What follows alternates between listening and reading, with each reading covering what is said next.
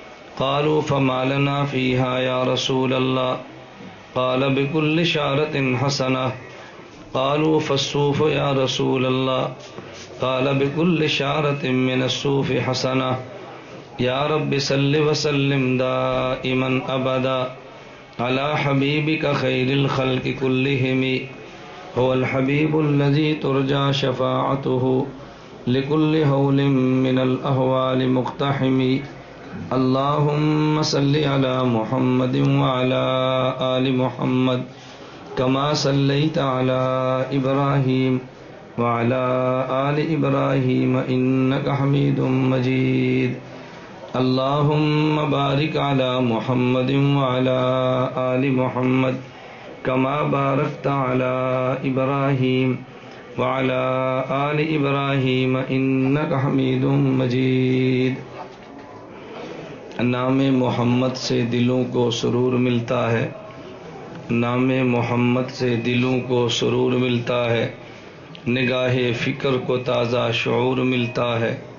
नसीब कैसा भी हो वासिता अहमद का देखे। नसीब कैसा भी हो वसीला मोहम्मद का देखे। खुदा से जो भी मांगे ज़रूर मिलता है।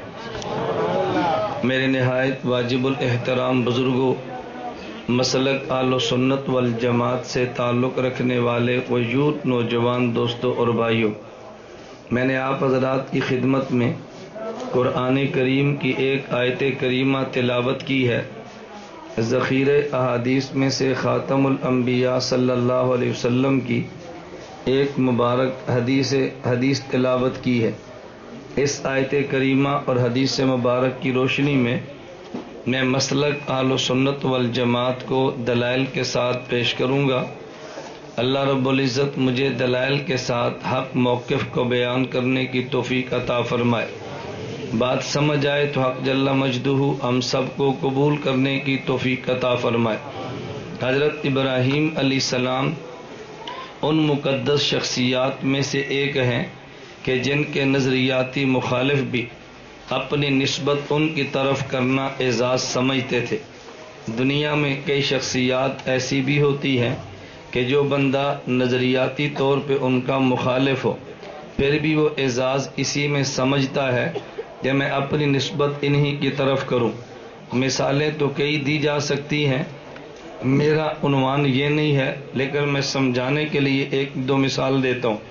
हमारे माजी करीब में मसल के देवबंद की बहुत बड़ी शख्सियत, ख्वाजा ख्वाजगान, ख्वाजा खान मोहम्मद रहमतुल्ला अलैह गुजरी है।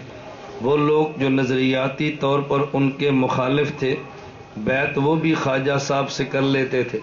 हज़रत दुनिया से रुखसत हुए तो जनाजे में उनका नज़रियाती मुखालिफ भी पहुँचा है। जब नज़रियाती इख्तलाफ है तो क्या लेने के लिए गया? वो कहते हैं, जी, ख्वाजा साहब हमारे हैं। मैंने कहा, ख्वाजा उनका है जिनका उन वाला अकीदा है। जिनका उन वाला अकीदा न हो, ख्वाजा साहब उनके नहीं हैं। हमारे इस वक्त भी मौजूद हिंदुस्तान में बहुत बड़ी एक इल्मी दरसगा दारूम देवबंद है।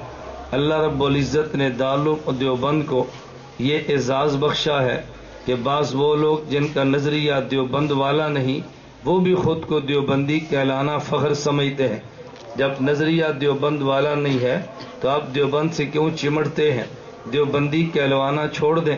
और जब आप देवबंदी नज़रिया पेश करेंगे, वो देवबंदी नज़रिया लेने की बजाय कुरान हदीस की बात कर लेगा और तासर ये देगा कि मौलाना कासिम ननोतवी का अकीदा कुरान हदीस के खिलाफ है हुसैन अहमद मदनी का अकीदा कुरान हदीस के खिलाफ है।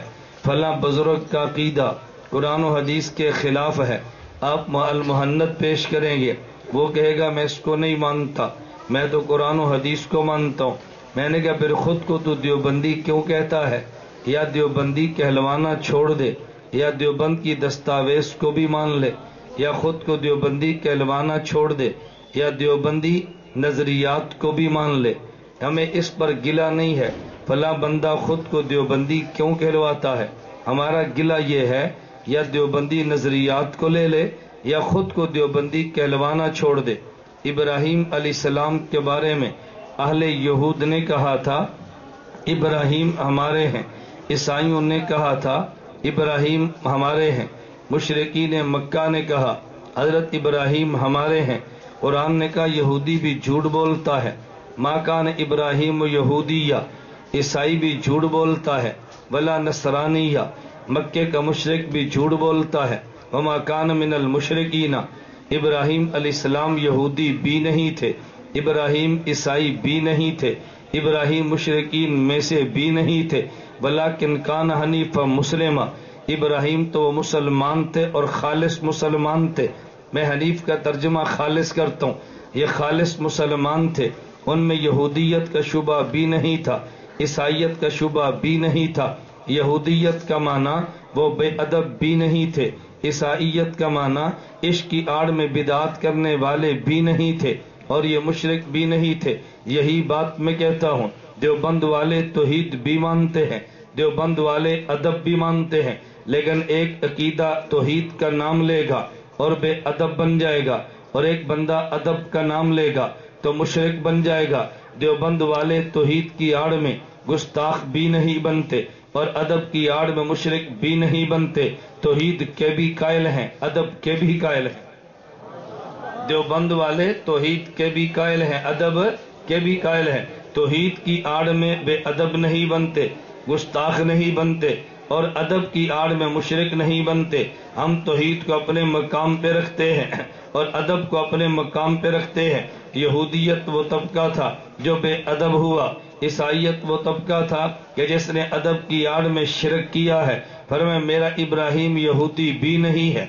मेरा इब्राहिम ईसाई भी नहीं है। मेरा इब्राहिम तो खालिस और पक्का मुसलमान है। इब्राहिम सलाम की खुदा ने इस मुसलमानों के साथ नस्बत को कायम रखा है। यहूदियत की नस्बत को रद्द कर दिया है। अच्छा अगर अकल हो तो मैं यूँ कहूँगा, एक बात यहूद कहते थे और आज वही एतराज़ बाज लोग भी करते हैं। बज़ाहिर दोनों की अकल एक जैसी लगती है। आप कहोगे, जी, क्या माना? जरा बात समझना। इब्राहिम सलाम पहले के हैं और मूसा सलाम, बोलिए, इब्राहिम सलाम पहले के हैं, ईसा सलाम। अच्छा बाद वाला नस्बत पहले वाले की तरह करता है या पहले वाला नस्बत बाद वाले की तरफ़ करता है? मैंने आपको सवाल का जवाब देना है। पहले वाला बाद वाले की तरफ़ निस्बत करता है या बाद वाला पहले वाले की तरफ़ निस्बत करता है? इब्राहिम अलैहिस्सलाम पहले थे। यहूदी तो कह सकता है, मैं इब्राहिमी हूँ। ईसाई तो चलो कह ले, मैं इब्राहिमी हूँ। लेकिन इब्राहिम के बारे में कहना यहूदी, ये कितनी खिलाफ अकल बात है। इब्राहिम तो पहले है, यहूदी बाद वाला है तो बाद वाला निस्बत पहले वाले की तरफ़ नहीं करता। बाद पहले वाला, बाद वाले की तरफ़ निस्बत नहीं करता। बाद वाला निस्बत पहले वाले की तरफ़ करता है। आज लोग हमसे यही बात पूछते हैं।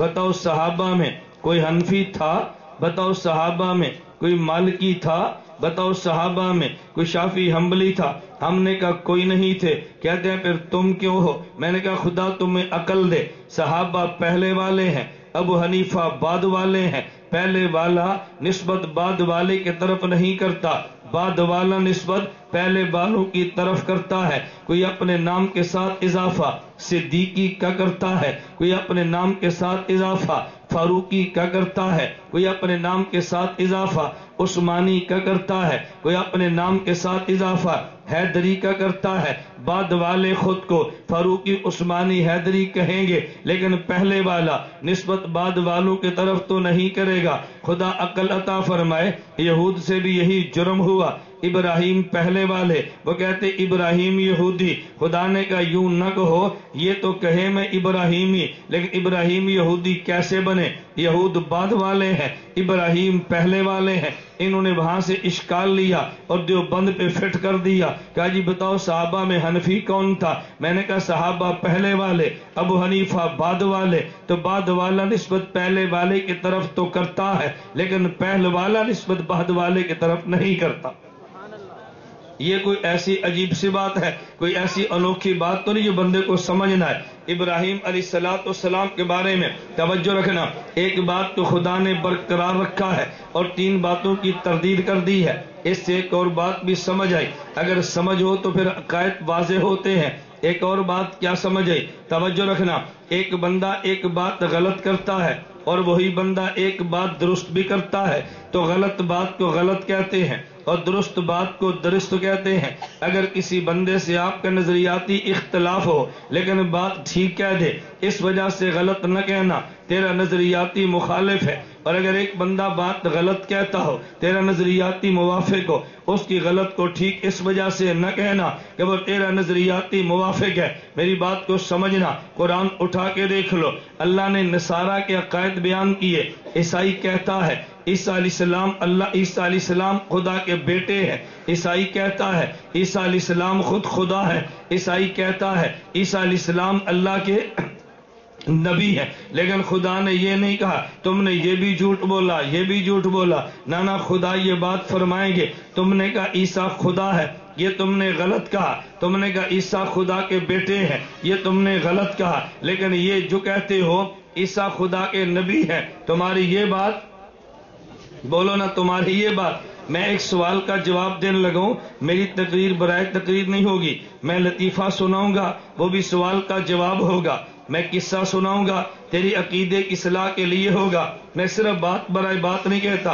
मैं बात समझाने ये लगा था, अगर आपका, आप कुरान खोल के देखें। ईसाइयों ने कहा, ईसा अल्लाह के मैं क्या बरेलविया ने जब साहब चाह नहीं मुक दी वो बंदी सादा पानी भी नहीं देती लड़ाई उनसे टफ होती है।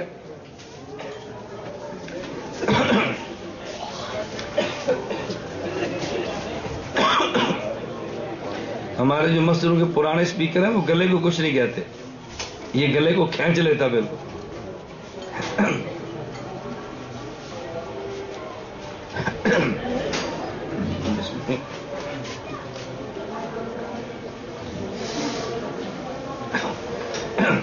हमारे जो देसी पुराने स्पीकर है ना, वो गलों को कुछ नहीं कहते ये गले को खेच लेता है बिल्कुल। इसको तो चलना इतना मुश्किल होता है। नाथ खानों की बड़ी हिम्मत है, मैं कभी सोचता हूँ। वो बिल्कुल साथ लगा के लगे रहते हैं उनको फिर भी कुछ नहीं कहता जी।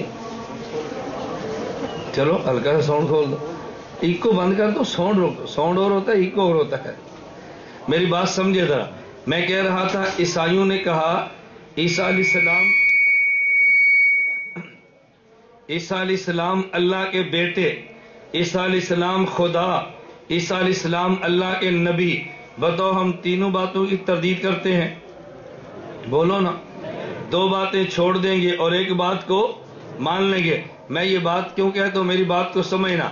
जब हम कहते हैं, अल्लाह के नबी कब्र में ज़िंदा, हमें लोग कहते हैं, तुमने क्यों कहा? मैंने कहा, क्या गलत किया? कहता ये तो बरेलवियों का कीदा है। मैंने कहा, बरेलवी की गलत बात तो गलत क्या है? लेकिन ठीक बात को तो गलत न ना कह कल को तुम्हें कोई बंदा कह देगा, ओ भाई दाढ़ी ना रखो। हम पूछेंगे, क्यों? होगेगा मिर्ज़ा कादियानी भी रखता है। कल को तुम्हें बंदा कह देगा, भाई सर से पगड़ी भी उतार दो। हम पूछेंगे, क्यों? कहेगा, सिख भी बांधते हैं। और मैंने कहा, अल्लाह तुझे अकल दे, हमने पगड़ी पैगंबर वाली पहनी है। हमने पगड़ी अपने नबी वाली। हमने दाढ़ी अपने पैगंबर वाली रखी है। अगर काफिर कोई अच्छा काम करे, उसकी वजह से हम खुद अच्छे काम कभी नहीं छोड़ेंगे। तो अगर सही अकीदा हो तो मान लेते हैं और गलत अकीदा हो तरदीद कर देते हैं। कुरानी मिजाज ये है, हमने कहा चूँकि उससे हमारा इख्तलाफ है, उसकी सही बात भी तरदीद कर दो और गलत की भी तरदीद कर दो। मैंने कहा देवबंद का मिजाज ये नहीं है, हम सही बात की तायद करते हैं और गलत बात की तरदीद करते हैं। इब्राहिम सलाम हनीफ भी हैं और मुशरक भी। ये मुशरक भी नहीं, यहूदी भी नहीं और ईसाई भी नहीं है। इब्राहिम सलाम हमारे नबी के जद्दे अमजद है। साहबा ने पूछा, अल्लाह के नबी से, या रसूल अल्लाह महाजिल अजाही, ये जो सुन्नतम तय जो हम कुर्बानी करते हैं, कुर्बानी क्या अमल है? अल्लाह के नबी ने फरमाया सुन्नत अबीकुम इब्राहिम। ये तुम्हारे जद्द इबजत इब्राहिम का तरीका है। हम भी मुसलमान हैं। इब्राहिम भी मुसलमान थे। हम भी हनीफ हैं। इब्राहिम भी हनीफ थे। जो उसूल उनके थे, वही उसूल हमारे बनते हैं। आप कुरान देखो। कुरान दो लफ्ज लाता है। नंबर एक कौन तुम खैर उम्मत कुरान हमें उम्मत भी कहता है। फिर कुरान खोल के देखो। बतब मिल्लत इब्राहिम। कुरान हमें मिल्लत भी कहता है। हम मिल्लत भी हैं और हम उम्मत भी हैं। खुतबात हकीमुल इस्लाम में पढ़े, कारी मोहम्मद तैयब नबर मरकदहू फरमाते हैं, अगर हमारी नस्बत उम्मत की देखो, हमारे नबी की तरफ़ है। अगर नस्बत मिल्लत की तरफ़ देखो, हज़रत इब्राहिम की तरफ़ है। यूँ कहेंगे, हम उम्मत मोहम्मद हैं और यूँ कहेंगे, हम मिल्लत इब्राहिम हैं। ये दो लफ्ज क्यों लाते हैं? एक नबी की मिल्लत कहलवाते हैं एक नबी की उम्मत कहलवाते हैं। मालूम हुआ उम्मत का माना और है और मिल्लत का माना और है। मोहम्मद अली जना की बहन फातिमा को कोई बंदा मादर उम्मत नहीं कहता। लेकिन उसे मादर मिल्लत तो कहता है। मालूम हुआ कि मिल्लत का माना और है और उम्मत का माना और है। जब असूल और फरू मिल जाते हैं, इससे उम्मत को वजूद मिलता है और जब सिर्फ़ असूल मिलते हैं, इसे मिल्लत को वजूद मिलता है। असूल फरू के इश्तराक का नाम उम्मत होता है और मात असूलों के इश्तराक का नाम मिल्लत होता है। हम मिल्लत इब्राहिम की है और उम्मत इब्राहिम के नहीं, हज़रत मोहम्मद मुस्तफ़ा की है। एक नबी की मिल्लत है और एक नबी की उम्मत है। मिल्लत का माना गया कि जो असूल उनके थे, वही असूल इस उम्मत के भी हैं। इनके असूल अलग नहीं है। मैंने चूँकि इस मजमून पे नहीं चलना, मैंने मजमून और लेकर जाना है। मैं दरमियान में इशारे दे रहा हूँ और मैं कभी उलमा से कहता हूँ, मेरे एक घंटे के बयान में बीस मजामी इशारे और नजरियात के दलाइल साथ साथ चलते हैं। मैं सिर्फ़ चलता जाऊँगा और कई एक इशारे दे के अपने उनवान पे बात साथ चलाऊँगा। मैंने इब्राहिम अलैहिस्सलाम हनीफ मुस्लिम है और हम भी हनीफ मुस्लिम है। असूल उनके जो थे, वही असूल हमारे हैं। हमारा उनका असूलों में कोई इख्तलाफ नहीं है। इब्राहिम के असूल भी हमारे असूल है। तवज्जो रखना, इब्राहिम अलैहिस्सलाम के असूल क्या है? अगर घर में देख तो बाप का मज़हब अलग है। इब्राहिम का मज़हब अलग है। बाप का दीन और है। और बेटे का दीन और है। इब्राहिम बेटे हैं और उनका बाप आजर है या उनका चचा है और नाम आजर है। इब्राहिम को देखो तो नबी है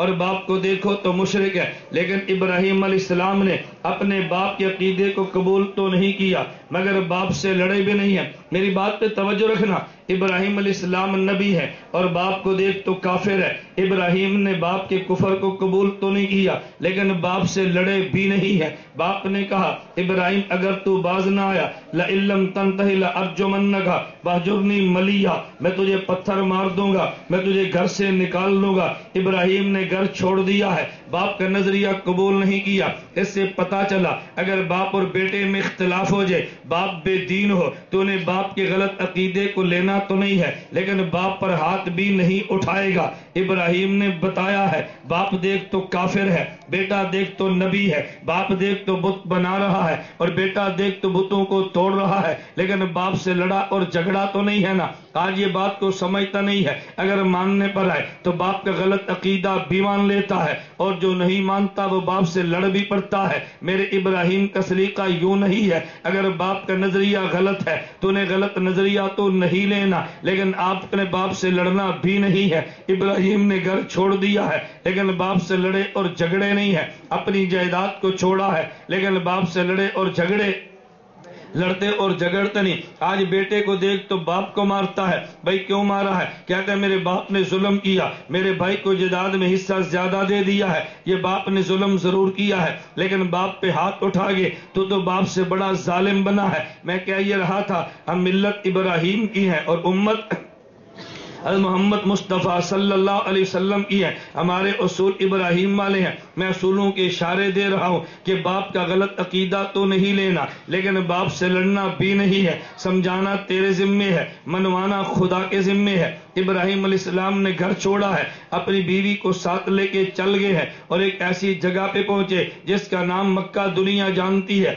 बीवी को छोड़ के वहाँ चले हैं तो बीवी पूछ, बीवी से कोई बात नहीं की घर छोड़ा और चल रही है। और बीवी ने आवाज़ दे के पूछी, इब्राहिम, आप जा रहे हैं, लेकिन मुझे ये तो बताएँ आपने मुझे क्यों छोड़ा है? इब्राहिम इशारे से बता रहे, मैंने मर्ज़ी से नहीं छोड़ा, मैंने खुदा के हुक्म से छोड़ा है। हमारा तरीका इब्राहिम वाला है। बीवी से मोहब्बत तू करेगा। ये तेरे ईमान का हिस्सा है। जब तक निकाह नहीं था, मोहब्बत करना जुर्म था। जब तूने निकाह ही है उससे मोहब्बत करना ईमान बना है। लेकिन अगर खुदा का हुक्म आ जाए तो तूने उसको छोड़ के चला जाना है। क्यों? हुक्म खुदा का जो आ गया है, ये मेरे इब्राहिम का तरीका है। बेटे को लिए तो चल दिए है। खुदा ने इब्राहिम पे वही भेजी है। इब्राहिम बेटे को जबा इब्राहिम पे वही भेजी है। और वही ये नहीं है कि बेटे को जबा कर दो। तवज्जो रखना, अगर वही ये होती कि बेटे को जबा कर दो तो माना और होता। खुदा ने यूँ नहीं फरमाया। जिबरील को बेच के कह देते, इब्राहिम बेटे को जबा कर दो।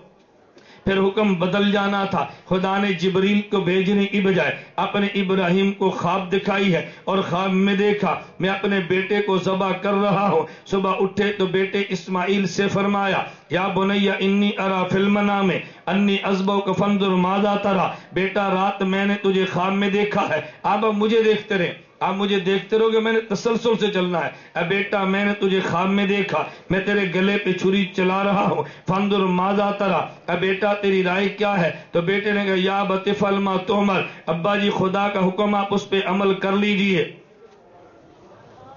तो जी कोई स्पीकर देख लो।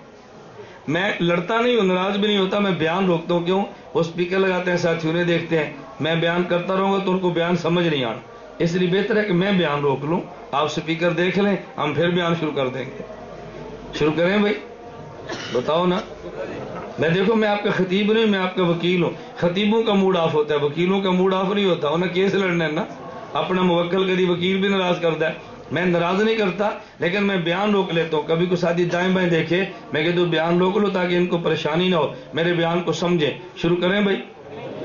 तवज्जो। साथी थोड़ा सा आगे आ जाओ। अगर जगह हो तो आ जाओ। ना तुझे नहीं बोलना, फिर तो खा पैना है। जगह हो ना तो खुद बहुत थोड़ा सा आगे हो जाए। तवज्जो रखना जरा। इब्राहिम सलाम को हुक्म देने के लिए अल्लाह ने जबरील को भेजा या ख्वाब दिखाई। बताओ भाई, क्या दिखाई?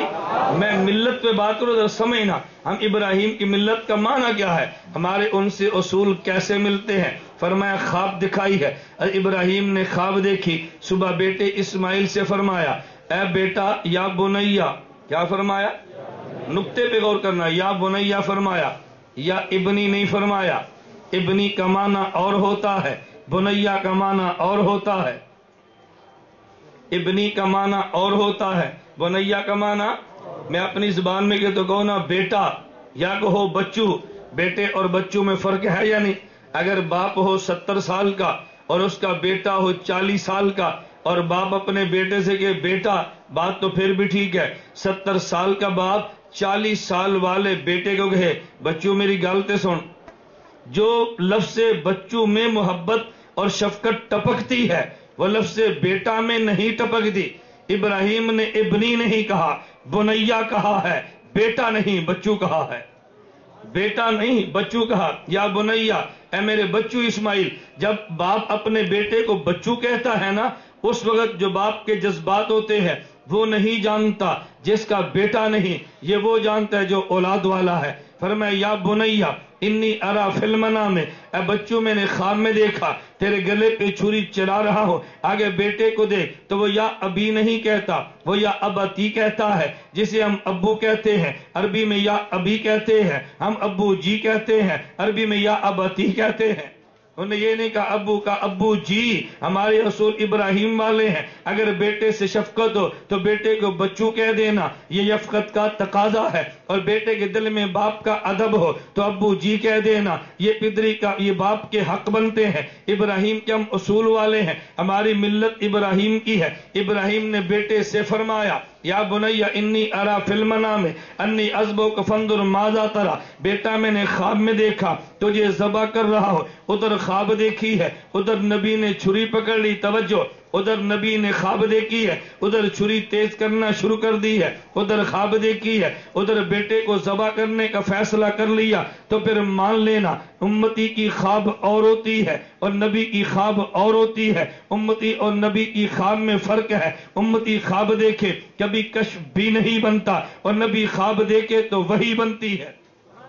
नबी ख्वाब देखे तो वही हमारे असूल इब्राहिम वाले हैं। इब्राहिम इस्लाम ने ख्वाब देखा, वो भी वही बनी है। और मेरे मोहम्मद ने ख्वाब देखा तो वो ही वही बनी है। तवज्जो वही बनी। मैं इस पे नुकताज कर दो मैं कभी यूँ कहूँगा तेरे खतीब ने इतना कह देना है कि नबी ख्वाब देखे तो वही बनती है। तेरे वकील ने यूँ नहीं कहना। हमने साथ क्यों भी बताना है कि नबी की ख्वाब वही क्यों बनती है? एक ये कि नबी की ख्वाब वही बनती है। इसे मसलक और मौकफ कहते हैं और ख्वाब वही क्यों बनते हैं? इसे मौकफ की दलील कहते हैं। हमने कुरान को देखा। नबी की ख्वाब वही क्यों बनती है? कुरान अपने पैगंबर से कहता है, फ़ैन नजल अला कल्बे का मेरा पैगंबर, मैं जो वही भेजता हूँ, ये तेरी आँख पर नहीं, पैगंबर तेरे दिल पे उतारता हो। वही नबी के दिल पे आती है। हमने नबी के दिल को देखा तो बुखारी में रिवायत मौजूद है। हजूर ने तहजद पड़े हैं और नबी सो गए हैं। बगैर वज़ू के उठ के वितर पड़े हैं। अम्मी आशिरा पूछने लगी,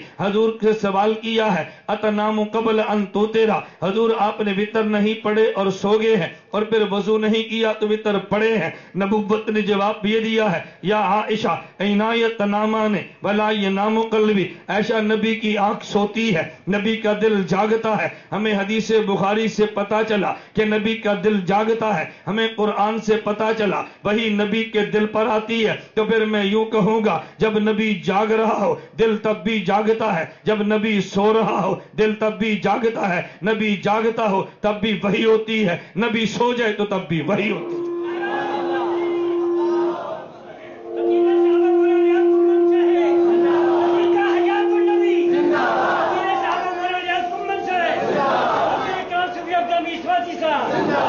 नबी जाग रहा हो तो तब भी वही होती है, और नबी सो जाए तो तब भी क्यों? वही नबी के दिल पर आती है, और नबी सो भी जाए तो नबी का दिल नबी सो जाए तो दिल तब भी जागता है, और नबी जागते हो तो दिल तब भी बोलो ना, तब भी दिल इब्राहिम इस्लाम को ख्वाब आई है। तो नबी की ख्वाब चूँकि दिल पर आई है, और दिल नबी का जाग रहा होता है, इस नबी सो भी जैन दिल जागता है। नबी ख्वाब देखे तो वही बन जाती है। पैगंबर का ख्वाब तो वही होता है। मैं एक नुकता अर्ज़ लगा। हमने पैगंबर की नींद को देखा है। हमें मसला समझ आया। उम्मत की नींद अलग होती है। और नबी की नींद अलग होती है। फिर मैं यूँ कहूँगा, हमने पैगंबर की मौत को देखा है, नबी की मौत अलग होती है, उम्मत की मौत अलग होती है। तू कहेगा, कहाँ लिखा है? मैंने कहा, ये मसला तो कुरान में लिखा है। कुरान कहता है इन का मैतुन व इन मैतूना मेरे पैगंबर मौत तेरी भी है, मेरे पैगंबर मौत तेरी उम्मत की भी है। अगर नबी और उम्मत की मौत में कोई फ़र्क नहीं था, अल्लाह यूँ फरमाते इन का वह मैतूना पैगंबर मौत तुझ पे भी आनी है। मौत उन पे भी आनी है। खुदा नबी के लिए लफ्ज मैयत अलग लाए हैं। उम्मत के लिए मैयतून का लफ्ज अलग लाए हैं। ये बताने के लिए नबी की मौत और होती है और उम्मती की मौत और होती है। अगर दोनों की मौत एक जैसी होती, अल्लाह लफ्ज एक ही लाते। अलग अलग लफ्ज उनके लिए अलग अलग लफ्ज उनके लिए न लाते। मैं मिसाल दूँगा, तुझे बात समझ आई तवज्जो रखना। एक मिसाल मोहन हक नवाज़ ने दी थी। वो तू शायरी है तो शायद तू ना समझे। मोहन हक नवाज़ फरमाते थे, अपनी जबान में, फरमाते, तुम मुझे बताओ, एक जट अपनी ज़मीन पानी ला दे, और पानी नकिया तू टप जाए, पानी बनेरे तू टप जाए, और जट फिर पानी अक्सर ना, कि तू पानी भर गया है दोबारा पानी क्यों लाया? ही कुछ ना, अल्लाह हम कहते हैं, फरमाते हैं, फसाहत का तगाजा है। अगर एक लफज से माना पूरा हो जाए अल्लाह फिर वही लफ्ज लाए। तो ये फसाहत के खिलाफ होता है। तो जब अल्लाह इन का मैतुन लफज अलग लाए हैं, उम्मत के लिए मैतुन अलग लाए हैं। इसका माना मैतुन का माना और है, और मैतूना का माना और है। मैं तुझे यूँ समझाऊँगा, तेरे शहर में जलसा है, स्टेज वाले ऐलान करते हैं, भाई ये जो हमारे मेहमान हैं, फला फला, ये उधर आ जाए, खाना पका है, और भाई जो सामीन है, इधर बैठे तुम्हारे खाने का इंतज़ाम है। मुझे बता, तेरा ऐलान अलग हुआ है स्टेज वाले का ऐलान हुआ है तो दोनों में खाने का फ़र्क होगा ना? वरना ज़रूरत क्या थी कहने के लिए? कि तुम भी खाना खा लो। और मौलाना साहब, आप भी उधर खाना खा ले। उधर कहना इस बात की दलील है, इसका खाना और है, और तेरा खाना और है। वगरना उधर लेकर क्यों गए हैं? खुदा इन का मैतुन अलग कहते हैं मैतूना अलग कहते हैं। जब दोनों की मौत एक थी, खुदा लफ्ज अलग क्यों लाए हैं? नबी के लिए लफ्ज मैतुन अलग लाना, उम्मत के लिए मैतूना अलग लाना इस बात की दलील है। नबी की मौत और होती है, उम्मती की मौत और होती है। नबी की मौत और होती है, उम्मती की मौत। तवज्जो रखना, मेरा पुत्र मेरे अलवे को। नबी की मौत और होती है, उम्मती की मौत और होती है। तवज्जो, ये कहाँ से समझे? देवबंद के बानी, मौलाना कासिम नोतवी से सी। कासिम में वल खैरा, मौलाना कासिम नोतवी से सी। इन दोनों की मौत में क्या फ़र्क है? मौलाना कासिम नोतवी फरमाते हैं कि नींद और मौत तो दोनों आपस में बहने होती है। अगर दोनों की नींद में फ़र्क है तो फिर मान ले कि दोनों की मौत में भी फ़र्क है। मौलाना कासिम नोतवी फरमाते हैं कि इस तरह उम्मती की नींद आँख पर भी आती है और दिल पर भी आती है। और लेकिन उम्मती की आँख, उम्मती की मौत भी आँख पर भी आती है और दिल पर भी आती है। उम्मती की नींद आँख पर भी आती है और दिल पर भी आती है। नबी की नींद आँख पर आती है, दिल पर नहीं आती। तो फिर मान लेना कि नबी की मौत भी आँख पर तो आती है, लेकिन नबी की मौत दिल पर नहीं आती। फिर लोग कहते हो जी सारे सहाबा तो मानते थे, नबी फौत हो गए। मैंने कहा आप बताओ तो सही, ये तो हम भी कहते हैं, मानते थे, लेकिन ये जो मौत में तुमने फ़र्क किया, ये किसने किया है? मैंने कहा, सहाबा ने किया है। कहते जी कहाँ लिखा? मैंने कहा, सही बुखारी में लिखा है। कहते जी क्या मतलब? मैंने कहा, वही गलत जो रवायत जो तो गलत अंदाज में पेश करता है, उसका माना यही था। मेरे नबी दुनिया से चले गए। हजूर चार पई पे तशीफ फरमा है। नबी के जज्ते अतर को रखा है। असहाबे पैगंबर रो रहे हैं, पैगंबर वफात पा गए हैं। सैयदना उमर बिन खत्ताब है रज़ी अल्लाह फरमाया, नाना, मेरा मोहम्मद ज़िंदा है। अगर तुमने कहा, मेरा मोहम्मद फौत हो गया, अभी हजूर उठेंगे, तुम्हारे हाथ और पाँव को काट के रख देंगे। भला उमर इतनी मोटी सी बात नहीं समझते, पैगंबर की मौत को आम बंदा समझता है। क्या उमर नहीं समझे? रज़ी अल्लाह और नबी खुद फरमाते हैं इन अल्लाह जाल हक्का अला लिसान उमर व कल भी उमर सोचते भी ठीक है, उमर बोलते भी ठीक है। उमर सोचते भी ठीक है, उमर बोलते भी ठीक है। हज़रत उमर जो माना समझे हज़रत उमर की मुराद नहीं समझा। बात तवज्जो से समझना सहाबा कह रहे थे, अल्लाह के नबी वफात पागे। उमर फरमा रहे नहीं, अल्लाह के नबी ज़िंदा है। इन दोनों में इख्तलाफ क्यों हुआ है? इसको समझने के लिए एक नबी की ख्वाब समझना और एक हदीस से मुबारक सुनना। मेरे पैगंबर सो रहे थे दो फरिश्ते आगे और एक फरिश्ते ने आगे कहा, अल्लाह के नबी जाग रहे हैं। और दूसरे फरिश्ते ने कहा, हजूर सो रहे हैं। नबी पाक सल्लल्लाहु अलैहि वसल्लम जब नींद से उठे, पर मैं आज खाम में दो फरिश्ते आए। एक ने कहा, हजूर सो रहे हैं। और एक ने कहा, हजूर जाग रहे हैं। पर मैं ये भी ठीक कहता है और ये भी ठीक कहता है। सहाबा कहते हजूर वफात पागे हज़रत उमर कहते हैं, ज़िंदा है। मैंने कहा, जो कहते हैं वफात पागे वो भी ठीक कहते हैं। और जिसने कहा, ज़िंदा है, वो भी ठीक कहते हैं। लोग कहते जी, क्यों? अल्लाह के नबी ने फैसला किया। फिर मैं जिनकी निगाह मेरी आँख पर है उनने कहा, हजूर, जाग रहे हैं। और जिनकी निगाह मेरे दिल पर है, कहा, जी, हजूर जिनकी निगाह मेरी आँख पर है, कहा, जी, हजूर, सो गए हैं। और जिनकी निगाह मेरे दिल पर है, कहा, जी, हजूर, जाग रहे हैं। तो जिन सहाबा की निगाह नबी की आँख पर है, कहा, जी, वफात पा गए हैं। उमर की निगाह पैगंबर के दिल पर है, कहा, हजूर, ज़िंदा है।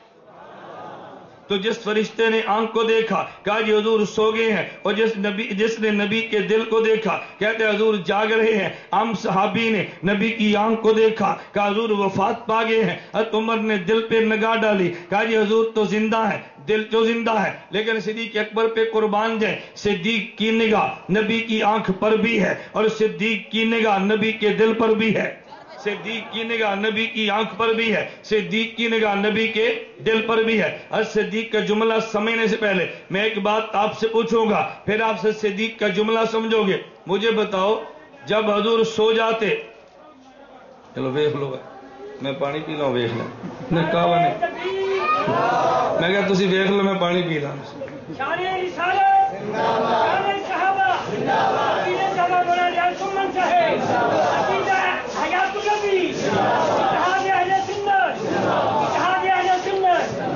ਵੇਖ ਲਿਆ ਭਾਈ ਹੁਣ ਸ਼ੁਰੂ ਕਰੀਏ ਮੈਂ ਪਿੰਡ ਦਾ ਬੰਦਾ ਤੁਸੀਂ ਸ਼ਹਿਰ ਦੇ ਹੋ ਹਰਕਤਾਂ ਪਿੰਡਾਂ ਨਹੀਂ ਤੁਸੀਂ ਕਰਦੇ ਹੋ ਤੁਸੀਂ ਸ਼ਹਿਰੀ ਵਾਲੇ ਕੰਮ ਕਰੋ ਸੰਜੀਦਾ ਪੜ੍ਹੇ ਲਿਖੇ ਬੰਦੇ ਜਿਵੇਂ ਕਿਸੇ ਪਿੰਡ ਵਾਲੇ ਕੰਮ ਸ਼ੁਰੂ ਕੀਤੇ ਨੇ ਸਾਈਕਲ ਆਏ ਫਿਰ ਵੇਖੋ ਕਾਰ ਆਏ ਫਿਰ ਵੇਖੋ ਕੋਈ ਬੰਦਾ ਆਏ ਫਿਰ ਵੇਖੋ ਪਿੰਡਾਂ ਦੇ ਕੰਮ ਨੇ ਤੁਸੀਂ ਤੇ ਸ਼ਹਿਰੀ ਬੰਦੇ ਹੋ तो मेरी बात समझ आ रही है चले आप जब देखेंगे मैं फिर बयान छोड़ूंगा मैंने कहा मैंने आपसे लड़ना नहीं है और मेरा मूड भी ऑफ़ नहीं होता लेकिन मैंने आपको कीदा समझा के उठना है इनशाला सुम्मा इंशाल्लाह। मैंने जहाँ तक पहुंचाना आपके जेन में नहीं है।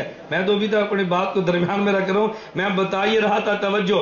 मैं आपसे एक बात पूछता हूँ फिर सिद्दीक रज़ी अल्लाह की बात समझो। बताओ जब नबी सो जाए दिल जागता है या नहीं? जागता है। बोलो ना। लेकिन कहते क्या है? हजूर जागते हैं या सो गए सो गए। तवज्जो समझना। नबी का दिल जाग रहा हो लेकिन क्या कहते हैं, जागे हुए या सोए हुए? हालाँकि दिल जागता है, लेकिन कहते क्या है? हज़रत सिद्दीक ने उमर को समझाया है। उमर, नाना, यूँ न कहना, ये न कहना हजूर ज़िंदा है। देखो, जिस तरह बंदा सोया हो, अगरचे दिल जागता है, लेकिन कहते तो यही है, सो गया है। अल्लाह के नबी का दिल ज़िंदा है, लेकिन कहना यही है, वफात पागे है।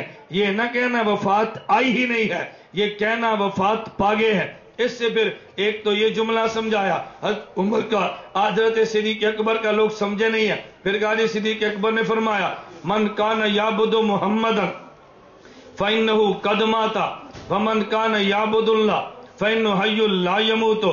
हज़रत सिद्दीक अकबर ने खुतबा दिया कि जो हजूर की इबादत करता है, वो सुने हजूर वफात पागे हैं, और जो खुदा की इबादत करता है, वो सुने खुदा ज़िंदा है। मैंने कहा खुतबा आधा पेश करें, अकीदा आधा निकलता है। सिद्दीक की बात पूरी पेश करें तो अकीदा पूरा निकलता है। सिद्दीक अकबर की पूरी बात समझाना, अबू बकर सिद्दीक रज़ी अल्लाह जब हवाली से आए हैं, नबी पाक सल्लम वफात पागे हैं। सिद्दीक अकबर ने नबी के दोनों कंधों पे अपने हाथ को रखा है। फिर पैगंबर की मुबारक पेशानी का बोसा लिया है। फिर सिद्दीक ने यूँ कहा तिब्त हयम बमैता हजूर आपका इस दुनिया में रहना भी मुबारक है, आपका दुनिया को छोड़ जाना भी मुबारक है। फिर सिद्दीक ने कसम उठाई वल्लदी नफसी बेदी ला युजी को मौततैन अबदा। मैं खुदा की कसम उठाकर कहता हूँ, हजूर, एक मौत खुदा ने आपको दे दी है। अल्लाह इसके बाद की दूसरी मौत आपको कभी नहीं चिखाएगा खुदा दो मौतें कभी नहीं देगा।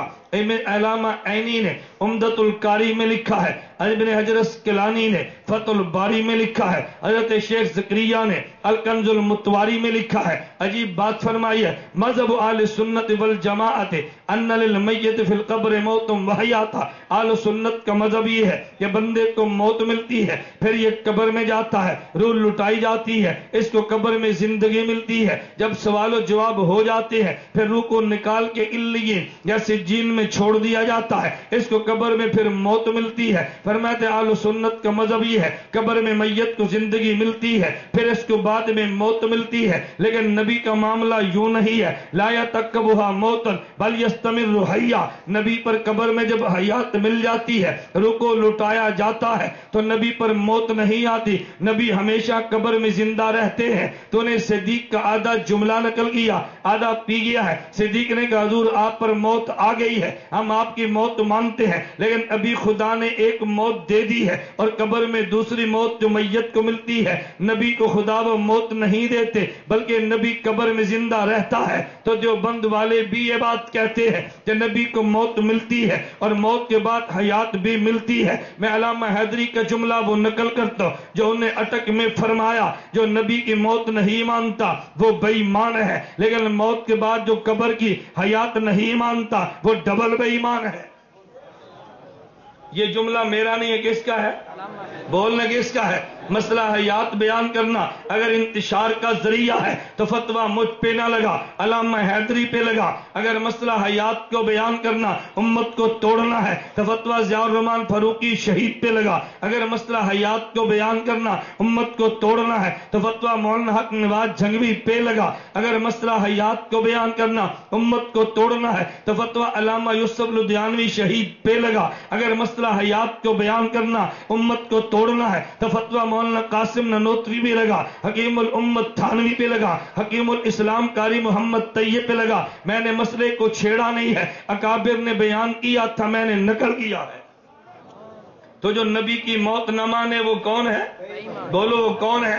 और जो मौत के बाद हयात न माने वो कौन है? वो डबल बेईमान है। हम नबी की मौत भी मानते हैं और मौत के बाद पैगंबर की कबर वाली हयात भी मानते हैं। मैं बात समझा रहा था, इब्राहिम इस्लाम पर जिबरील आए या ख्वाब देखी?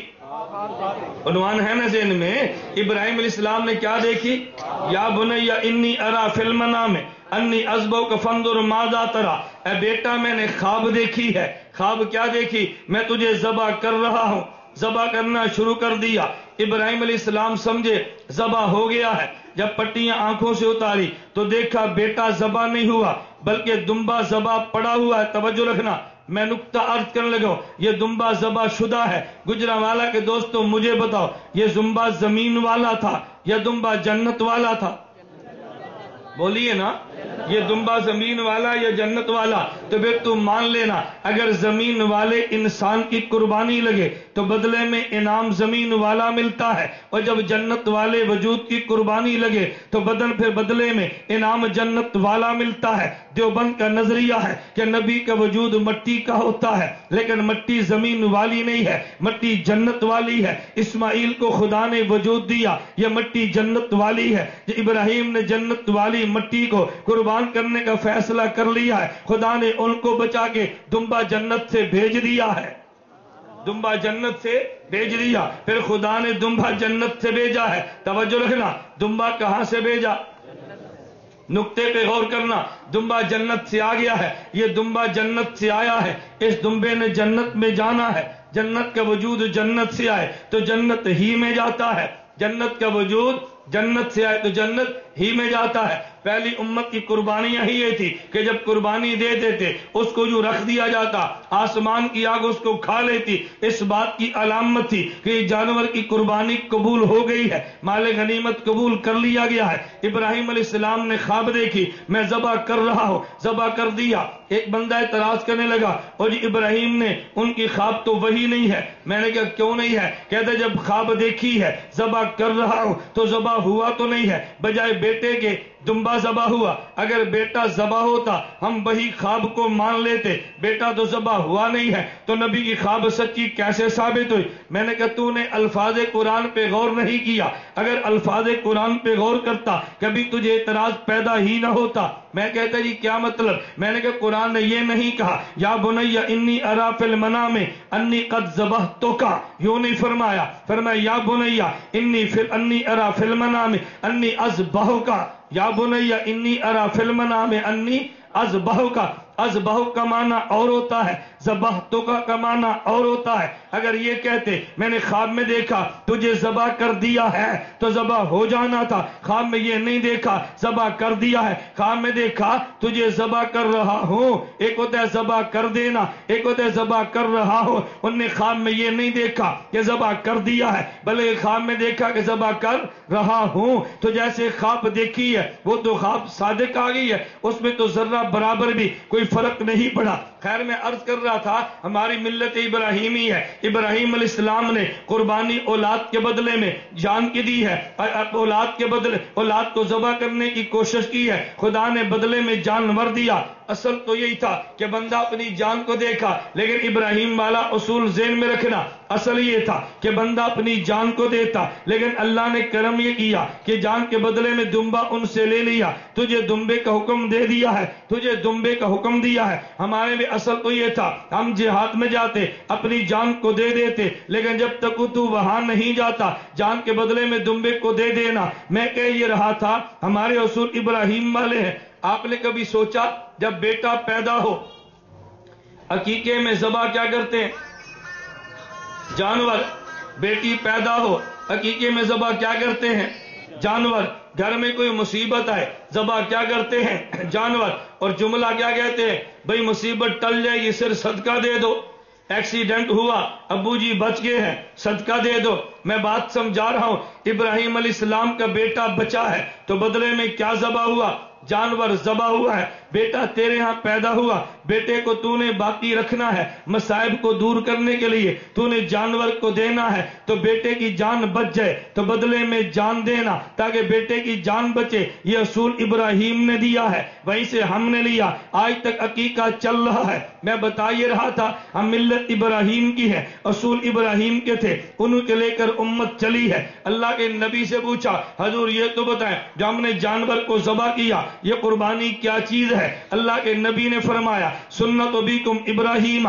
ये तुम्हारे जद अमजद इब्राहिम का तरीका है। सुन्नत होना और होता है, तरीका होना और होता है। हम जो जानवर को जबा करेंगे, अगरचे तरीका इब्राहिम का होगा, लेकिन हम ये नहीं कहेंगे, ये सुन्नत हम इब्राहिम की अदा करते हैं। हम ये कहेंगे, सुन्नत हज़रत मोहम्मद मुस्तफ़ा सल्लल्लाहु अलैहि वसल्लम की अदा करते हैं। चला तरीका वहाँ से है, लेकिन सुन्नत इब्राहिमी बिल्लत इब्राहिमी पर है, लेकिन सुन्नत रसूलुल्लाह कहते हैं, इसकी वजह क्या है? कभी आपने देखा, आज पूछो कि कुर्बानी सुन्नत है? लोग कहते जी नहीं, कुर्बानी वाजिब है। अच्छा हम कहते हैं तो जब सुन्नत इब्राहिम है तो फिर कुर्बानी को वाजिब क्यों कहते हैं? कुर्बानी का वाजिब होने का माना और है, और सुन्नत इब्राहिमी होने का माना और है। सुन्नत इब्राहिमी का माना तरीका इब्राहिम का है, और वजूब का माना।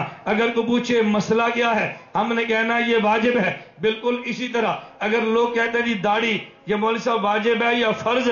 हम कहते हैं, दाढ़ी रखना वाजिब है। और साथ ये भी कहते हैं, भाई दाढ़ी अल्लाह के नबी की सुन्नत है। लोग कहते हैं, उधर सुन्नत भी कहते हो, उधर वाजिब भी कहते हो। मैंने कहा, दो लफ्जों को तो समझा नहीं है। हम कहते हैं, दाढ़ी रखना अल्लाह के नबी की सुन्नत है। और दाढ़ी का हुक्म क्या है? ये वाजिब है। इसको वाजिब होने का माना नबी की सुन्नत होने का माना। मतलब ये है, ये दाढ़ी हुक्म शरीयत में तो वाजिब, लेकिन अगर कोई बंदा पूछे, इसका वजूब कहाँ से साबित है? हम कहेंगे नबी की सुन्नत से।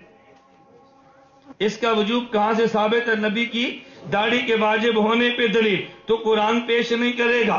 दाढ़ी के वाजिब होने पे दलील तो पैगंबर की सुन्नत पेश करेगा। कोई मसला कुरान से होता है, कोई मसला सुन्नत से होता है। हमने कहा दाढ़ी वाजिब है, हमारे नबी की सुन्नत है। मैं यूँ कहूँगा कि दाढ़ी वाजिब हमने हुक्म बताया है, नबी की सुन्नत, हमने वाजिब होने की दलील बताई है कि ये सुन्नत को, ये ये हुक्म, ये कुरान में है या हुक्म सुन्नत में है। हमने कहा, दाढ़ी के वजूब का हुक्म, ये कुरान में नहीं, पैगंबर की सुन्नत में है। तो सहाबा ने पूछा, या रसूल अल्लाह ये जो जानवर हम कुर्बान करते हैं, ये किसका तरीका है? फरमाया, तुम्हारे जद्द अमजद इब्राहिम का है, वहाँ से तरीका चला है और आज पूरी दुनिया में इब्राहिम का तरीका चल रहा है। आज लोगों को हजम नहीं होता। मुसलमान का कुर्बान कर देना। तो मुसलमानों के कुर्बान करने पे फिर शुभहात होते हैं, फिर एतराजात होते हैं, फिर वसवसे होते हैं। एक बंदा आज वसवजा दुनिया में एक वसवजा फैलाया जा रहा है कि मुसलमान ईद के दिन लाखों जानवर जबा करते हैं और पूरे शहर में गंदगी फैल जाती है। गोश्त खा के ये पेशाब पखाने कर देते हैं। अगर मुसलमान यूँ न करता, ये एक लाख जानवर जबा करने की बजाय इनके पैसे जमा कर लेता, इसे अस्पताल बना लेता, पैसे जमा कर लेता, इससे यतीम खाना बन जाता, ये पैसे जमा कर लेता, इससे कोई और कारखाना बना के गरीबों का रिफाई, इमदाद का ज़रिया बना देते। मुसलमान ने कितनी गलत हरकत की है, एक दिन में इतने जानवर जबा कर दिए हैं। मैंने कहा सुबहान अल्लाह शरीयत को हुक्म तो समझा ही नहीं है। मेरे दोस्त तो बात समझना, इंसान के अलावा दुनिया में माल दो किस्म के हैं। एक माल वो जो बेजान है और एक माल जो जानदार है, तेरी मिल्कियत में सोना भी है, ये बेजान है। तेरी मिल्कियत में चांदी है, ये बेजान है। तेरी मिल्कियत में बागात है, ये बेजान है। तेरी मिल्कियत में तेरी दुकान है, ये बेजान है। दुकान पे तूने जक़ात देनी है, अपने सोने चांदी पे जुकात देनी है। तूने अपने बागात पे उशर देना है तो बेजान पे जक़ात तो आ गई है, लेकिन तेरी मिल्कियत में जानवर भी है। इस जानवर की कुर्बानी में फिर पैसे देगा तो बेजान वाली, तूने सदका तो कर लिया है। खुदा यू चाहते हैं, बेजान वाली दौलत का सदका भी कर और जान वाली दौलत का सदका भी कर। बेजान वाली दौलत का सदका भी कर और जान वाली दौलत का सदका भी कर। अगर फिर तुमने दो लाख दो अरब जमा करके यतीम खाना बना दिया तो जानवर वाली कुर्बानी तो फिर रहेगी अल्लाह चाहते हैं, तेरी मिल्कियत में बेजान वाला माल है, हमें उसकी कुर्बानी भी चाहिए। उसे जक़ात उशर सदका कहते हैं, और तेरी मिल्कियत में जानदार, जानवर जान वालवार जान वाला माल भी है। खुदा को उसका सदका भी चाहिए। उसे कभी अकीका कहते हैं, उसे कभी कुर्बानी कहते हैं। ये अगर ये तू अदा नहीं करेगा। हुक्म शरीयत खत्म हो जाएगा। मैं एक वजह और भी अर्ज़ कर दो। जरा बात तवज्जो से समझना। एक आदमी अल्लाह हुक्म देते हैं कि तुमने जिहाद में जाना है। जब जिहाद में जाओगे तो तुमने जान देनी भी है और तुमने जान लेनी भी है। आदमी को जान देते भी डरता है, आदमी जान लेते भी डरता है, कभी जान दी जो ली नहीं है। तो ये अल्लाह ने तरबियत के इंतज़ाम फरमाया फरमाया, तुमने जानवर की कुर्बानी देनी है और तुमने अपने हाथ से जानवर जबा करना है। जो बंदा अपने हाथ से जानवर को जबा करने की आदत बना लेता है, मैदान जिहाद में चला जाए तो काफिर को जबा करना उसके लिए कोई मुश्किल नहीं होता। और जो बकरी मुर्गी जबा करने से डरता है, वो जानवर को जबा करने से खौफ खाता है। वो मैदान जिहाद में जाके वो तो काफिर की छुरी को देख के दौड़ जाएगा। वो जबा कैसे करेगा? जिहाद की तरबियत के लिए तुझे इजाज़त ये दी है। अपने हाथ से जानवर को जबा करना, ये तो जिहाद की तरबियत के लिए था। अगर हुक्म छोड़ देते, ये सारी रूही खत्म हो जाती। मैं एक बात और भी कहता हूँ। अल्लाह ने इंसान के मिजाज में शफकत, मोहब्बत का मादा रखा है। और शफकत और मोहब्बत का माना कभी जान की सूरत में होता है, कभी माल की सूरत में होता है। इब्राहिम अलैहिस्सलाम अल्लाह के रास्ते में जो कुर्बानी देने लगे तो खुदा ने कुर्बानी बेटे की मांगी है। खुदा ने ये तो नहीं कहा, इब्राहिम जायदाद दे दे। वो तो पहले छोड़ चुके थे। ये तो नहीं कहा, इब्राहिम घर को छोड़ दे। वो घर को पहले छोड़ चुके थे। इब्राहिम को ये नहीं कहा, अपने आप को जबा कर दे। पर मैंने नहीं, अपने बेटे के जबा की बात की है। एक बंदा कहने लगा, और इस वाक्य को मैं तो मानता नहीं हूँ। मैंने कहा, क्यों नहीं मानता? कहता जी अजीब बात है? अगर कुर्बानी लेनी थी, अल्लाह इब्राहिम को ये ख्वाब दिखाते ना, अपने गले पे छुरी चलाए अपने गले पे छुरी नहीं चलाई और बेटे के गले पे छुरी चला दी है। मैंने कहा, तू औलाद वाला नहीं है। औलाद वाले के जज्बात और होते हैं। बे औलादे के जज्बात और होते हैं। जब आदमी बुढ़ापे को पहुँच जाए, औलाद जवान हो जाए, आदमी की अपनी अहमियत खत्म हो जाती है। औलाद की अहमियत बढ़ जाती है। खुदा न करे, तेरे घर में कोई डाकू आए तो बाप कहता है, मेरे पुत्र नु न मारना, मीनू मार दे। माँ कहती है, मेरे बेटे को ना मारना, मुझे मार दे, ये सारी दौलत ले जा। मेरे बेटे को कुछ ना कहना, दौलत से औलाद की अहमियत बढ़ जाती है। अपनी जान से औलाद की अहमियत बढ़ जाती है। खुदा ने यह नहीं कहा, इब्राहिम खुद को, फरमाया, ना, बेटे को, इब्राहिम बुढ़ापे में है। बेटा अकेला है, इब्राहिम बुढ़ापे में है। बेटा अब मिला है। तो बुढ़ापे में जब आदमी पहुँच, मोहब्बत अपनी जान से ज़्यादा, औलाद से बढ़ जाती है। इब्राहिम ने कुर्बानी छोटी नहीं, बल्कि कुर्बानी बड़ी दी है। मैं बात समझाने लगा था, बाज काम करने को बंदे का दिल नहीं चाहता। हुक्म खुदाबंदी में कर लेता है। मुसलमान वो है जो चींटी को भी मारने से डरता है, मुसलमान वो है। खुदा की कसम, आप देख लो, मुसलमान चल रहा होगा। सामने चींटी भी जाए तो मुसलमान पाँव उठा लेता है कि चींटी मेरे पाँव के नीचे मर न जाए। अरे, जो चींटी को मारने से डर रहा है, वो बकरे को जबा कैसे करेगा? गाय को जबा कैसे करेगा? उनकी जान कैसे लेगा? लेकिन मुसलमान का काम यह है, एक काम करने पर दिल राज़ी नहीं है। लेकिन खुदा फरमाते मैं देखना चाहता हूँ कि दिल तो नहीं मानता, लेकिन मेरा हुक्म मान के जबा करता है या नहीं करता, ये दुम्बा पालता है, इस पे रंग लगा देता है और फिर जबा करने के लिए कुर्बान गाह में ले जाता है। जब बंदा किसी को जबा करे, बजाय दर्द कितनी होती है, लेकिन जबा कर तब भी करता है। हुक्म खुदाबंदी जो है, मैं इसकी छोटी सी मिसाल देता हूँ। मेरे नबी तशीफ फरमा है एक सहाबी आए, कलमा गो है, मेरे शरीयत में दाखिल हुए, लेकिन हुआ ये, उनसे गुना सरजद हो गया। अल्लाह के नबी से फरमाया, हजूर, मैंने जिना कर लिया है, मुझे पाक कर दीजिए। अल्लाह के नबी फरमाने लगे, बाशर्ता, नहीं नहीं, तूने यूँ नहीं किया होगा। चार मरतबा इकबाल किया है। अल्लाह के नबी फरमाने लगे, बच्चों के इकबाल जुर्म कर लिया है, संसार कर दिया जाए। उधर पैगंबर पैगंबर का नाम लेवा है। जब उनको सजा देने लगे, नबी ये पांख की आँसू से जारी है, आँसू जारी है। हजूर जब सजा देते हैं तो आँसू क्यों जारी है? नबी का दिल ये भी नहीं करता, उम्मत को सजा दे। आँखों से आँसू भी निकलते हैं। खुदा के हुक्म को पूरा भी करते हैं। तो जिस तरह नबी को उम्मत से प्यार होता है,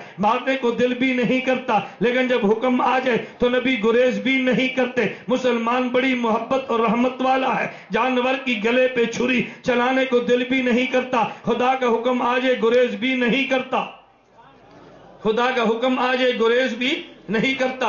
हिंदुस्तान के हिंदुओं के एक हमारे मौलवी है, एक उनके मौलवी है। आप अपने उल मौलवियों को उलमा कह लें, हिंदू अपने मौलवी को जोगी कहता है। अपने मौलवी को कोई नाम देता है, हिंदुओं के मौलवी वो गोश्त नहीं खाते, अंदर बैठ के खाते हो खुदा जानता है, लेकिन बाहर वो गोश्त नहीं खाते। कहा जी, हम तो सब्ज़ी खाएँगे, हम तो दाल खाएँगे, पूछो गोश्त क्यों नहीं खाते? कहते, इंसान ने ये बहुत बड़ा जुल्म किया है। अगर आपका जी चाहा कि जी मैंने, जी चाहा कि मैंने सूप पीना है क्या जी मुर्ग जबा कर दो। मेरा जी चाहा कि टिक्के खाने हैं। कहा जी गाय सभा कर दो।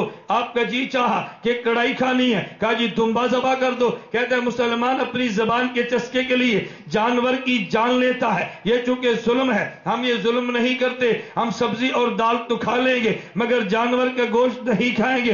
हकीम उलम्मद थानवी रहमत वो भी तो हिंदुस्तान में रहते थे। उनके सवाल का जवाब हकीम उलम्मद थानवी ने दिया। हकीम उलम्मद थानवी फरमाने लगे, कभी तुमने गौर किया है कि जब मुसलमान अपने चारे को काटे।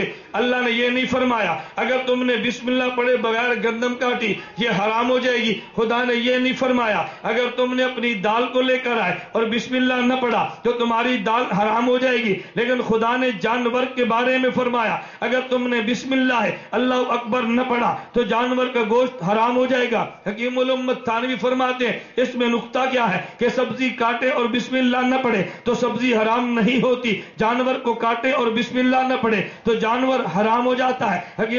थानवी फरमाते हैं, मेरे अल्लाह के इलम में था, मेरी शरीयत पे हिंदू ने एतराज़ करना है, खुदा ने बिस्मिल्लाह का हुक्म दे के उस एतराज़ का जवाब दे दिया है। क्या माना कि जब बंदा अल्लाह के नाम पे कटता है तो बंदे को कटने में दर्द नहीं होती, आदमी मैदान जिहाद में जाए और शहीद हो जाए, कोई दर्द नहीं है। हदीस मुबारक में है इन शहीदा ला यजद मसल कतले, कि अल्लाह के राह में जान देने वाला, इतनी सी तकलीफ़ महसूस करता है, जितनी चूटी के काटने की है। क्यों? ये अल्लाह के नाम पे बंदा कटे तो बंदे को दर्द नहीं होती। और जब जानवर के सामने अल्लाह का नाम लिया जाए, वो जान झूम के दे देता है। दर्द उसको भी नहीं होती। तेरा इश्काल तो यही था कि तूने जान लेके जुल्म किया है। खुदा ने तेरे सवाल का जवाब दिया कि तूने बिस्मिल्लाह पढ़ के जबा करना है। इसलिए जब जानवर को जबा करेगा, खुदा का नाम लेगा, वो खुदा का नाम सुन के लज्जत में जान दे देता है। ये खुदा खुदा के रिस्क को खा के अल्हम्दुलिल्लाह जी अल्हम्दुलिल्लाह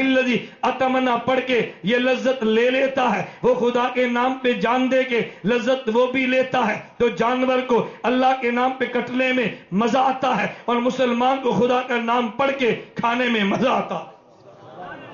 वो भी मज़ा लेता है, ये भी मज़ा लेता है। हकीम थानी फरमाते हैं, एतराज़ वो करता है जो शरीयत हुक्म की हिकमत समझते ही नहीं है। जब आप बताएँ, आपने हदीस सुनी होगी, आदमी जन्नत में जाए, कोई नमाजी कहेगा, अल्लाह फिर दुनिया में भेज, मेरा नमाज़ पढ़ने बहुत मज़ा आता था। अल्लाह मुझे दुनिया भेज, जुलाई के रोज़े बहुत मज़ा आता था, मैं फिर रोज़े रखने। कोई कहेगा, अल्लाह फिर भेज, जब मैं सिकात देता, बहुत मज़ा आता था। शहीद कहेगा, अल्लाह दुनिया में फिर भेज।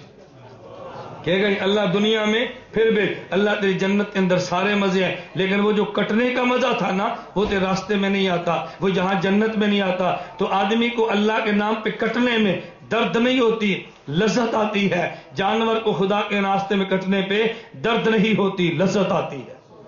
दर्द नहीं होती, बल्कि लज्जत आती। आपके जेन में सवाल आएगा, भाई जब हम जानवर को जबा करें वो तो तड़पता है आप अंदर दर्द नहीं होती, तड़पता तो है, दर्द नहीं होती। जब आप शामी कबाब खाएँ और मिर्चें ज़्यादा डालें तो बताओ, सीसी होती है? बोलो ना। और मज़ा नहीं आता। मज़ा भी आता है, सीसी भी करते हैं, मिर्च भी लगती है, स्वाद भी लेते हैं। ये जो सीसी है, ये लज्जत वाली है। वो जानवर तड़पता है, लज्जत भी लेता है। इसका माना ये नहीं है, उसको कटने वाली लज्जत नहीं आती। मुझे एक साथी कहने लगा कि जो हदीस मुबारक में है कि चूटी काटे इतनी सी दर्द होती है, चूटी काटे तो चीख निकल जाती है, दर्द तो बहुत होती है। इसका माना कि शहीद को बहुत दर्द होती है मैंने कहा, मैं एक मिसाल देता हूँ। मैं तो साथियों को बताता हूँ भी हमारी बचपन का खेल ये था। हम एक चूंटा लेते या थूकते और चूंटा ऊपर रख देते। वो काटता था। जब हम छोटे छोटे खेल खेलते, अब बताओ, चूंटी काटे, दर्द होती है। और चूंटी से कटवाएँ तो फिर दर्द होती है, लेकिन उसमें मज़ा भी आता है। नहीं समझा? एक होता है चूटी का काटना, एक है चूंटी से कटवाना, एक है खुदा के रास्ते मर जाना, एक है खुदा के रास्ते मरने के लिए पेश होना। दोनों में बहुत बड़ा फ़र्क है। वैसे ही चूंटी काटे अचानक तो चीख निकल जाती है और जब बंदा कटवाने में पेश कर दे, फिर चीख नहीं, फिर मज़ा आता है। एक होता है अचानक गोली लगे, ये कि सफ़र में जाते गोली लगी और मर गया, और एक होता है कि बंठन के जाए गोली खाने के लिए। नहीं समझा? दोनों में कितना फ़र्क है? आप घर जाए और छह माह बाद हैं। आपका छोटा सा बच्चा हो। आप उसके रुखसार पे दंदी मारते हैं कि नहीं? या कभी आपने मज़ा नहीं लिया?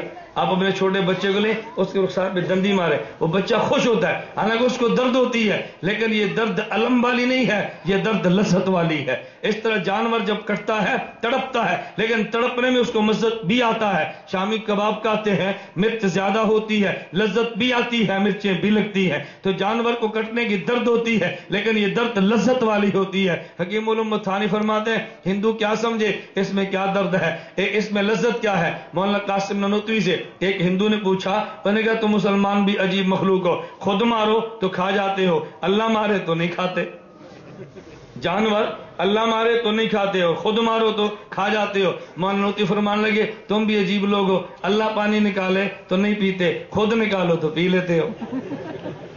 नहीं समझे? भाई आदमी जो मूत पेशाब आता है, जो पानी अल्लाह निकालते हैं ना, क्या जो तुम्हारा मूत्र निकलता है, अल्लाह पानी निकालता है, तुम नहीं पीते, और खुद नलका लगा के लगाओ तो पी जाते हो। अब इसका हिंदू के पास कोई जवाब नहीं था। हिंदू से हिंदू ने मोहन नोतवी से पूछा, क्या मुसलमानों को देखो, अपनी मैयत को दफना देते हैं? और हिंदू को देखो, हम अपनी मैयत को जला देते हैं। मोहन फरमाने लगे कि, तुम्हारी मैयत कचरा है, और मुसलमान की मैयत खजाना है। कचरा जलाया जाता है, खजाना दफनाया जाता है। कचरे जलाए जाते हैं, खजाने दफनाए जाते हैं और आज लोग एतराज़ करते हैं, खजाने को लेकर नहीं, कचरे को लेकर।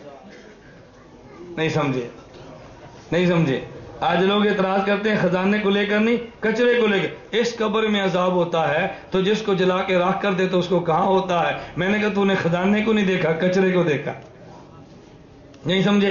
कचरे, खजाने पर एतराज़ करेंगे, कचरे को देखकर। खैर, बात लंबी होगी, मैं अर्ज़ कर रहा था हम मिल्लत इब्राहिम की और उम्मत हज़रत, बोलो ना, मिल्लत इब्राहिम की और उम्मत हज़रत मोहम्मद सल्लल्लाहु अलैहि वसल्लम की।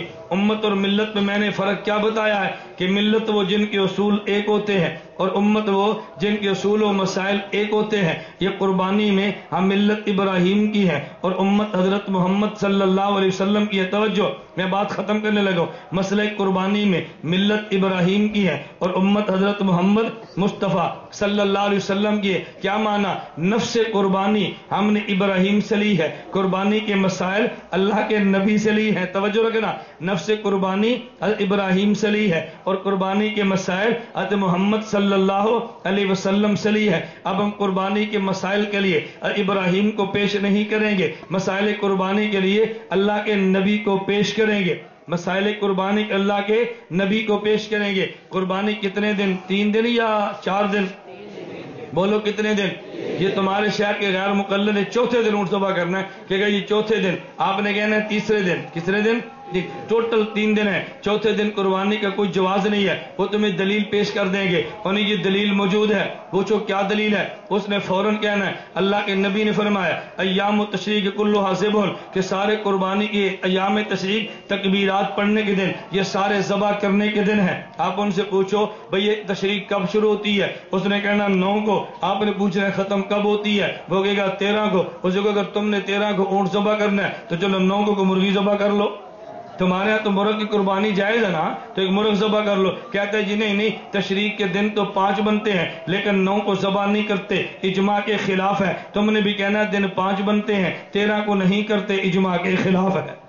जो दलील तेरी है वही दलील हमारी है। कुर्बानी कितने दिन करेंगे?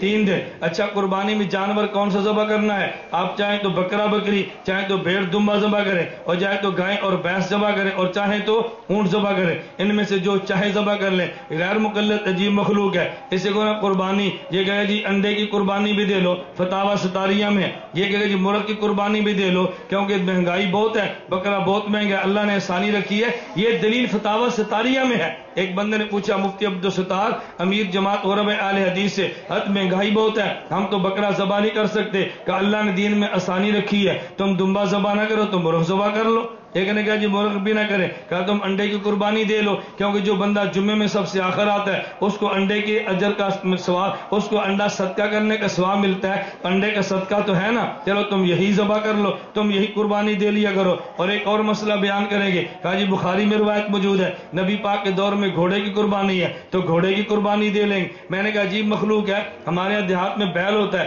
पता नहीं आपने देखा नहीं कि नहीं। आप शहरी लोग हैं, हम तो देहाती हैं। बैल को देखो ना, वो क्रॉस करने पर आए तो दरिया क्रॉस कर जाता है और ना क्रॉस करने पर आए तो खाले को क्रॉस नहीं करता। ये न मानने पर आए तो कट्टा नहीं मानता और मानने पर आए तो घोड़ा भी मान लेता है। कैसे कैसे बेवकूफ़ लोग हैं? न मानने पर आए तो ये भी न माने और मानने पर आए तो वो भी मान ले। मैंने कहा, कुर्बानी इब्राहिम से ली, मसाइल किन से लेने हैं? बोलो, किन से लेने हैं? हाँ नबी पाक सल्लम से लेने हैं। आप जानवर जबा करें, जानवर को इस्तेमाल कर लें। लेकिन जानवर के साथ अदा कभी ना खाना। मुसन्फ अब्दुल में रवायत मौजूद है असुन कुबरा बहकी में रवायत मौजूद है। दमे मसू जब जबा करते हैं, यहाँ से खून निकलता है। इसे दमे मसू कहते हैं। ये खाना जायज़ नहीं है। वदूद खाना जायज़ नहीं है। हराम मस्त का खाना जायज़ नहीं है। पित्ते का खाना जायज़ नहीं है। मसाने का खाना जायज़ नहीं है। और इसी तरह जो मादा जानवर है, उसके पेशाब की जगह का खाना जायज़ नहीं है। नर जानवर के पेशाब की जगह का खाना जायज़ नहीं है, खुशियातैन का खाना जायज़ नहीं है, आप इससे भी बचे और उधर जाए तो ये भी जायज़ है और हवाला फतावा नजीरिया में मौजूद है। हमने कहा, मसला तुम से नहीं लेंगे, मसला नबी से लेंगे।